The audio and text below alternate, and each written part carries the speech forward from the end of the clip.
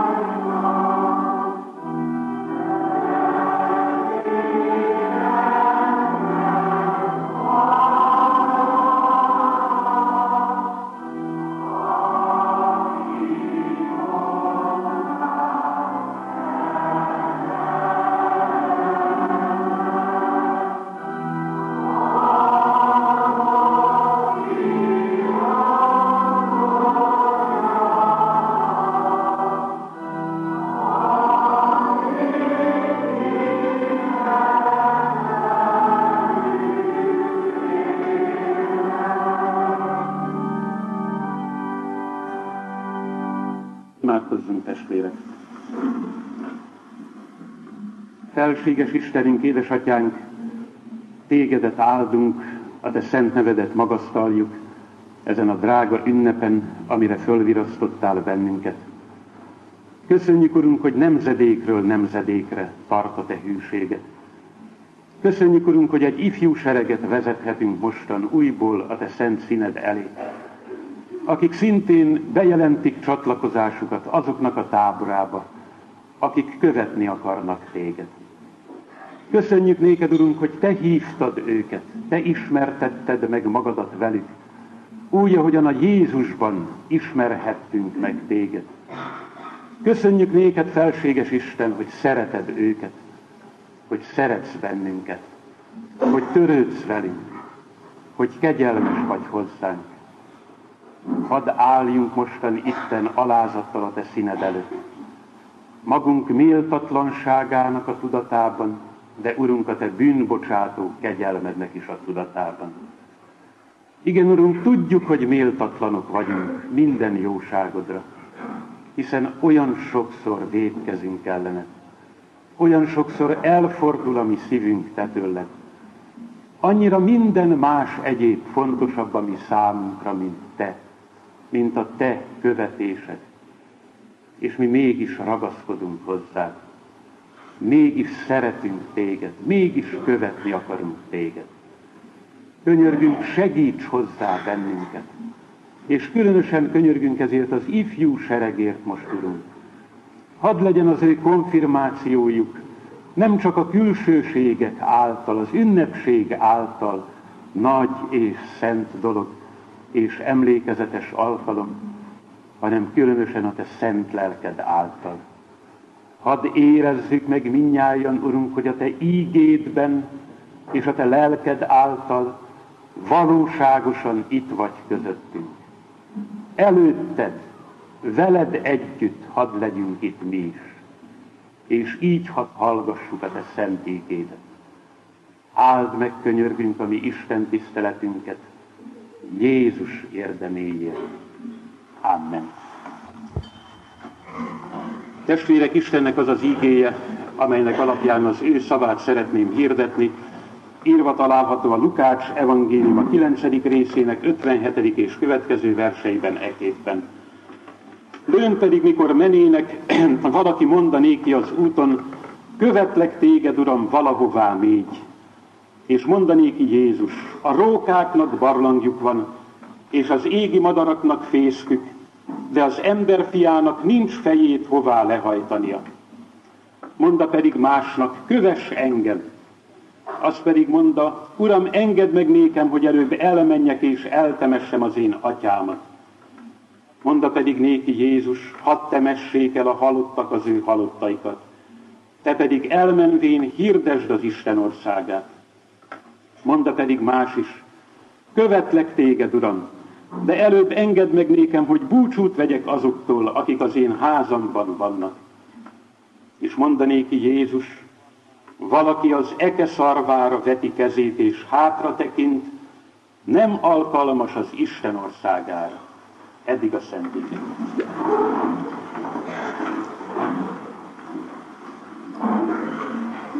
Kedves testvéreim, ennek a mi gyülekezetünknek és sok más magyar református gyülekezetnek is drága ünnepe ez a mai nap, amikor ismét egy ifjú sereg jelenti be csatlakozását azoknak a táborába, akik követni akarják Jézust. Hamarosan elhangzik majd közöttünk újból az élet legjelentősebb döntésére hívó kérdés. Ígéritek-e, fogadjátok-e, hogy ti Jézusnak igaz követői akartok lenni? Mindig bizonyos szorongással teszem föl ezt a kérdést. Mert nem tudom, hogy vajon a mi fiaink és leányaink átérzik-e igazán, hogy milyen halálosan komoly dolog erre a kérdésre így válaszolni. Ígérem és fogadom. És hogy mennyire igazán komoly döntésről van itten szó, éppen ez derül ki a felolvasott ígéből követni Jézust. Ennél rövidebben már nem lehetne összefoglalni a keresztény életnek az egész lényegét. És itt ebben a rövid, kicsi mondatban mind a két szón egyformán hangsúly van. Azon is, hogy Jézust, és azon is, hogy követni. Tehát mi Jézust akarjuk követni. Azt a Jézust, akit úgy ismerhettünk meg a bibliai kijelentésből, mint az igazi embert, mint a legemberségesebb embert, aki valaha járt ezen a világon. Mint a jóságnak, szelídségnek, szeretetnek, megbocsátásnak, türelemnek a mintaképét. De ugyanakkor, mint a határozottságnak, a céltudatosságnak, az erőnek, az önfeláldozásig menő áldozatkészségnek is a mintaképét. Ilyennek gondolta el Isten az embert. Jézus mutatta meg a világnak, hogy mi az igazi emberség. De nem csak úgy ismertük meg Jézus, mint embert, hanem ugyanakkor úgy is megismerhetjük őt a bibliai kijelentésből, mint akiben Isten lépett közénk mint a jelenlévő Istennek a valóságát.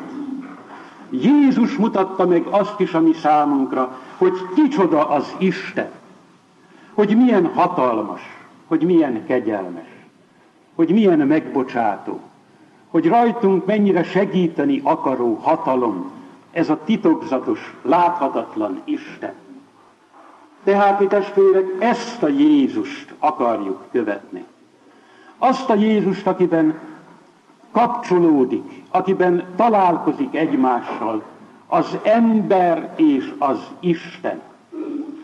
Akinek tehát hatalma is van arra, hogy bennünket is, az ő követőit is igazán emberekké tegyen, emberséges emberekké, önmagához hasonlóvá, a saját lelke által megszentelt és áthatott életű emberekké és életekké.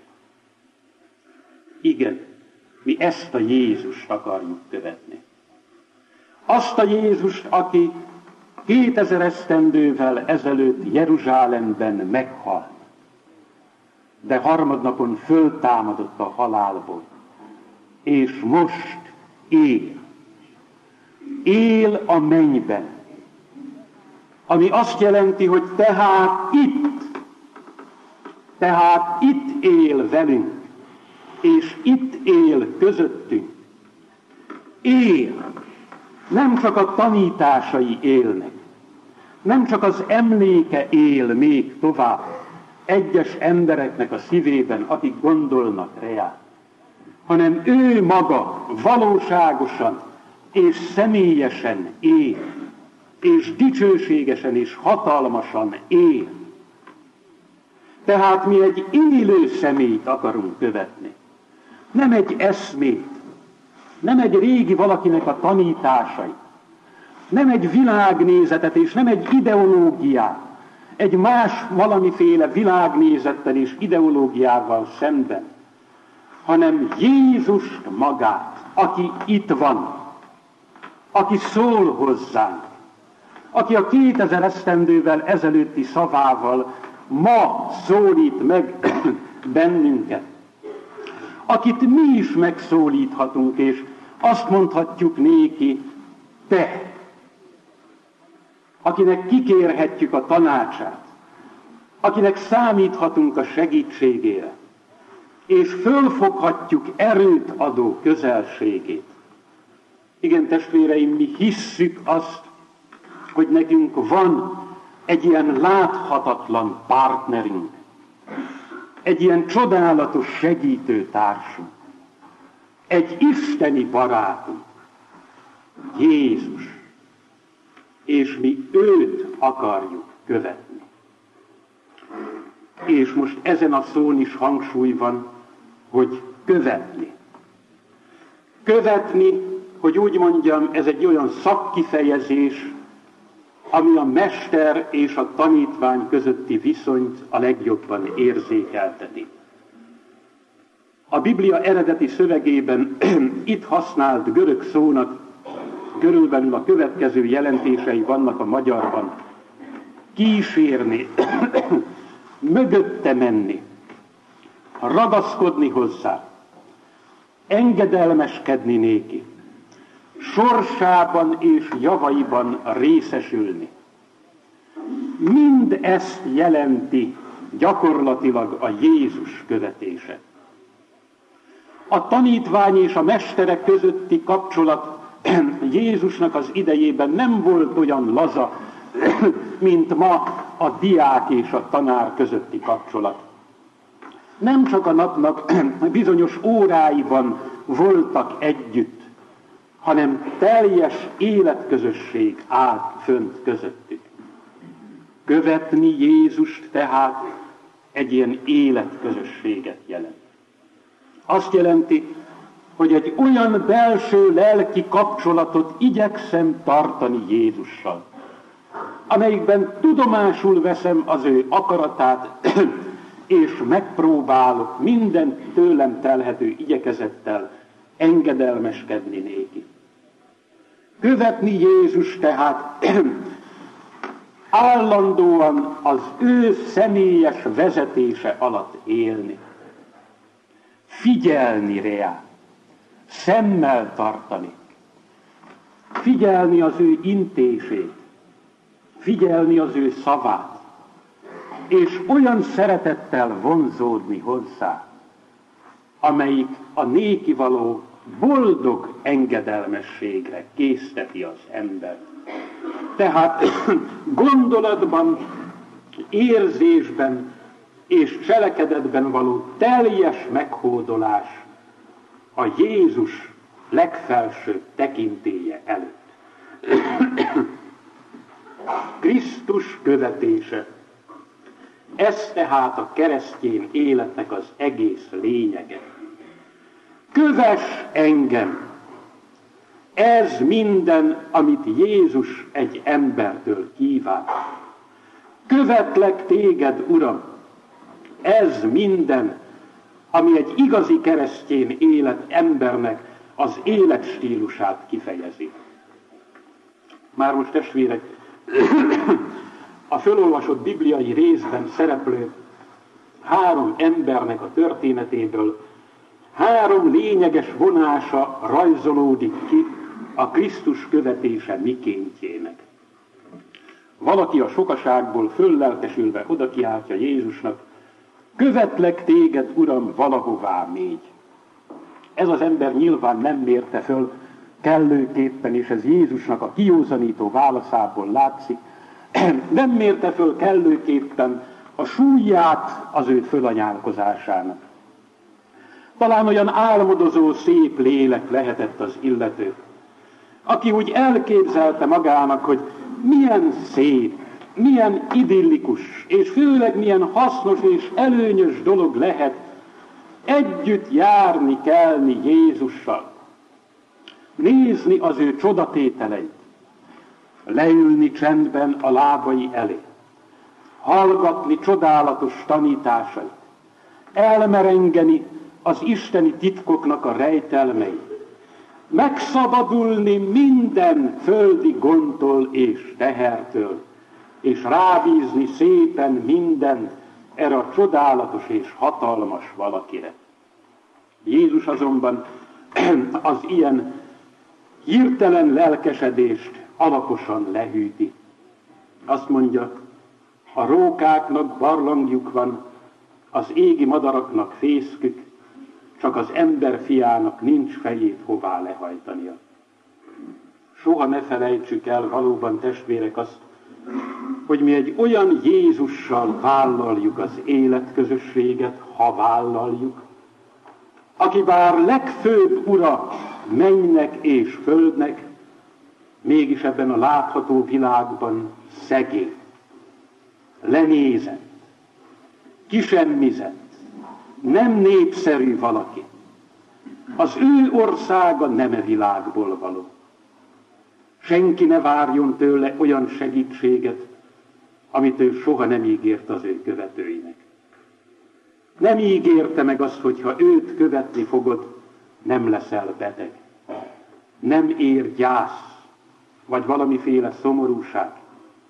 Minden, mindig jól fog sikerülni, és nagyszerűen, símán ível fölfelé a karrieret nem ígérte.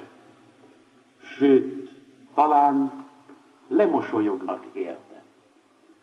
Sőt, talán hátrányos helyzetbe is kerülhetsz miatta. De nem is csak erről van itt szó, hanem amikor Jézus azt mondja, az emberfiának nincs fejét hová lehajtania, akkor ezzel tulajdonképpen arra utal, hogy ő maga szakadatlan munkában van, megállás nélkül. És ezt kell vállalnia annak is, aki őt követni akarja. Mert a Jézus követése nem olyan dolog, mint ahogyan bizonyos foglalkozásoknál van, hogy a napnak bizonyos óráiban végzi az ember a maga, maga munkáját, és amikor letelik a munkaidő, akkor magánemberként él tovább, és a következő műszakig azt csinál, amit akar. Jézusnak a követése nem ilyen foglalkozás.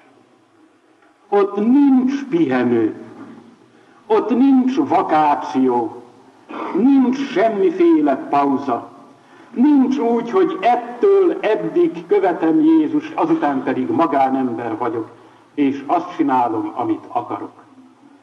Jézus követése nem ábrándos, szép idill, csattos imakönyvvel és vasárnapi ünneplővel, hanem egy szakadatlan készenlét a szolgálatra.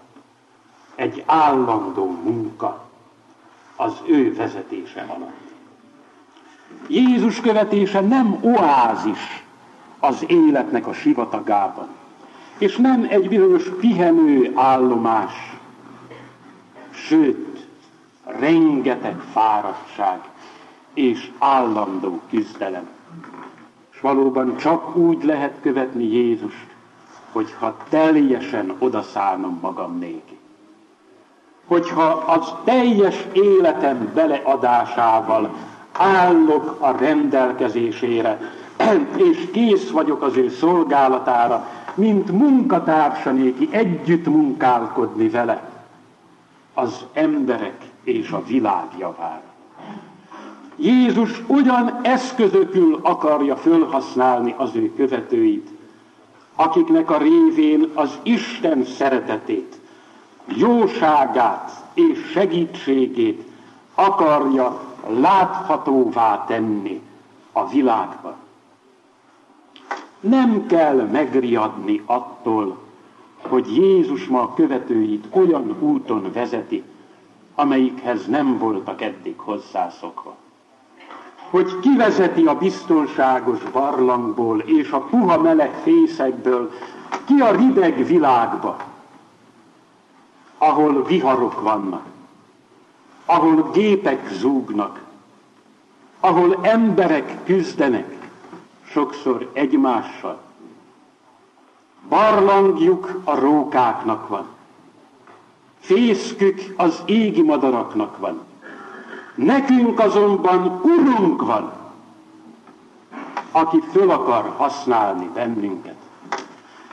És egy olyan óvatos kereszténység helyett, amelyik nem mer beleszólni a ma élő emberiség aktuális kérdéseibe, a háború és a béke problémájába, vagy a fai kérdésbe, vagy a szociális problémákba, vagy a munka erkölcsbe, és amelyik bebúzik inkább a maga barlangjába, és a fészkébe, a templomoknak a csendjébe, és a biblióráknak a belkörű közösségébe.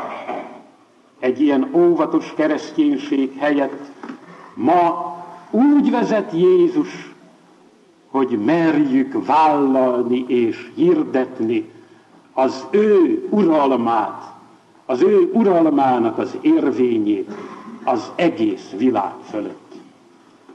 Követni Jézust egy olyan állandó készenlét, amelyik talán így fejezhető ki, mit akarsz, Uram, elvégezni, vagy mondani, vagy cselekedni, általam, ott, ahol vagyok, ahol élek, a népi demokráciában, Budapesten, 1964-ben, itt és most. Igen, testvérek, erre ajánlja föl magát az, aki ígéri és fogadja, hogy Jézus Krisztusnak igaz követője lesz. Itt tehát egy életre szóló elkötelezésről van szó. Egy másik ember is, a másik emberről is szól a történet, mondta pedig másnak, köves engem. Azt pedig mondta, Uram, engedd meg nékem, hogy előbb elmenjek és eltemessem az én atyámat. Mondta pedig néki Jézus, hadd temessék el a halottak az ő halottaikat, te pedig elmenvén hirdesd az Isten országát. Ennek az embernek öreg, talán beteg, minden esetre a halálhoz már közel lévő édesapja lehetett.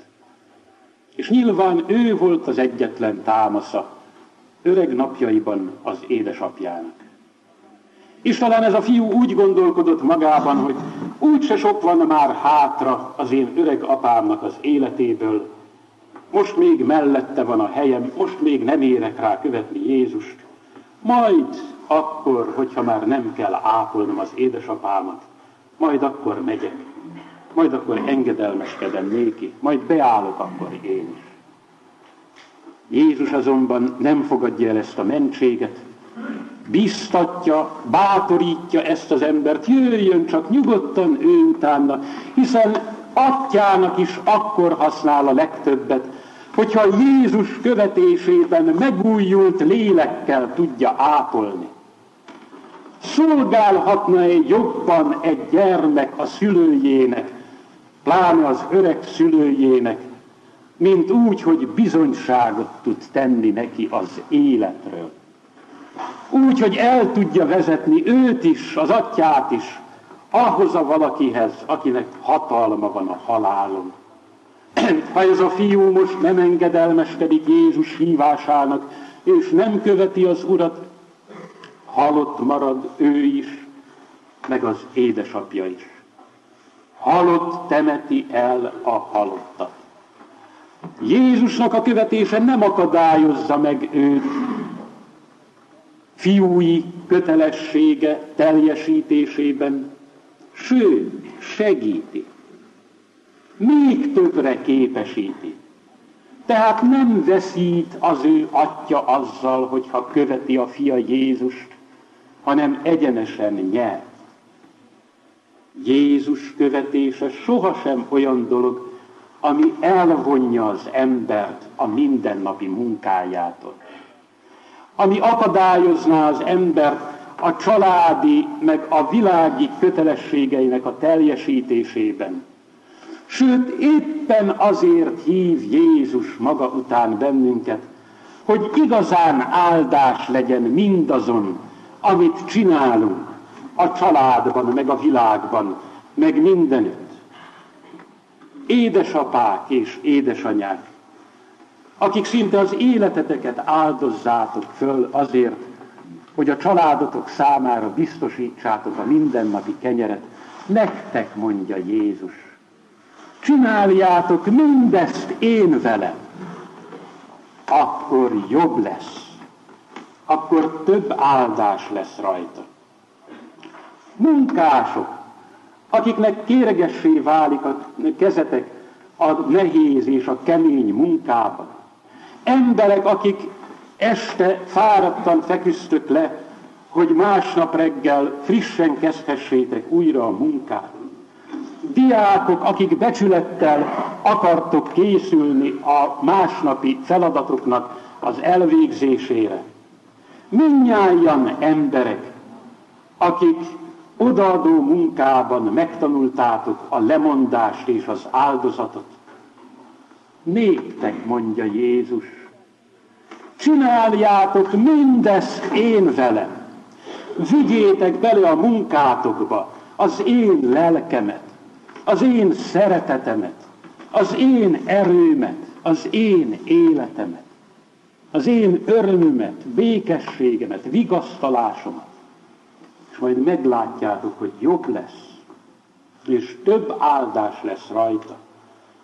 Tehát éppen ott ahol szólít a mindennapi kötelesség, ott legyünk a Jézusnak a az eljövendő Isten országának, mint egy előre küldött hírnökei. Abban a helyzetben, abban a munkában, ahol éppen vagy, pontosan, amit éppen cselekszel és azonnal. Erről szól a bibliai leírásban szereplő harmadik eset. Monda pedig más is, követlek téged, Uram, de előbb engedd meg nékem, hogy búcsút vegyek azoktól, akik az én házamban vannak. Mondanéki Jézus, valaki az eke szarvára veti kezét és hátra tekint, nem alkalmas az Isten országára. Ez az ember a dönteni nem tudó embernek a típusa. Fel is ajánlja magát, és ugyanakkor hátat is fordít. Dönt, de nem egészen, nem teljesen. Akarja is követni Jézust, de. És amint ez a de megjelenik, abban a pillanatban már nem igaz, és nem teljes a döntés. Nem tudja elszánni magát. Halogatja a dolgot. Két vonzás között feszül, és úgy akarja megoldani a kérdést, hogy ma még nem, majd holnap. És ez hallatlan nagy veszély. Mert a ma a biztos, a holnap mindig bizonytalan ismertem egy alkoholistát, akinek az volt a jelszava, holnaptól kezdve nem iszom, csak még ma utoljára. És az a holnap sose érkezett el. Mindig holnap marad.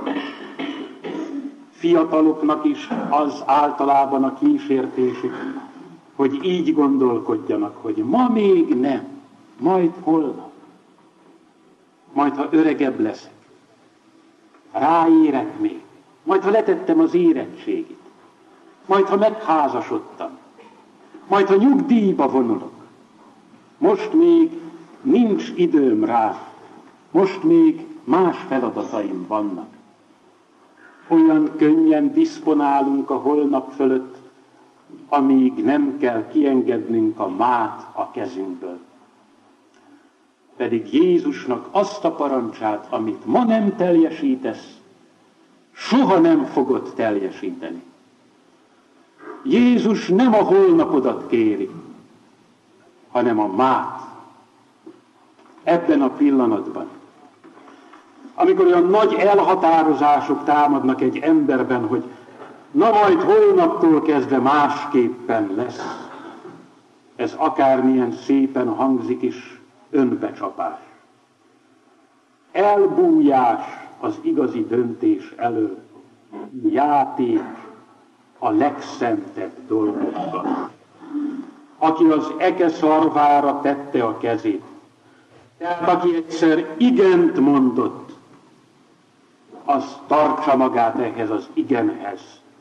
Mindig örökké valóságig.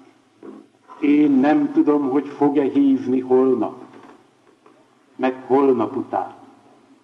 Lesz-e még alkalom dönteni? Sokszor van az úgy, hogyha valaki azonnal nem indul, soha többé nem hallja a hívást. Ennek a hívásnak csak azonnal lehet engedelmeskedni. Tehát, testvéreim, mi Jézust követjük. Mégpedig életre szóló elkötelezéssel. Ott, ahol vagyunk, és azonnal. Befejezésül még csak annyit, ne féljetek attól, hogy nem modern dolog ma már a Jézus követése. Hogy lenéznek benneteket amiatt, hogy ti még mindig keresztjének akartok lenni. Mert mi a modern? Az, ami a kor követelményének megfelel. Mi pedig éppen egy olyan korban élünk, amikor a bizalmatlanság, az önzés, a gyűlölet, meg a technikai fölkészültség az egész tusi alapon, tehát a szeretetnek, a megbocsátásnak, a jóságnak, az egymáson való segítőkészségnek és az áldozatvállalás alázatának az alap maradhat meg a világ, és élhet tovább az emberiség. Tehát éppen a Krisztusi ember ma a legmodernebb ember. Mi nem még mindig keresztények vagyunk, hanem mi újra keresztények akarunk lenni. Krisztus követő emberek. Igaz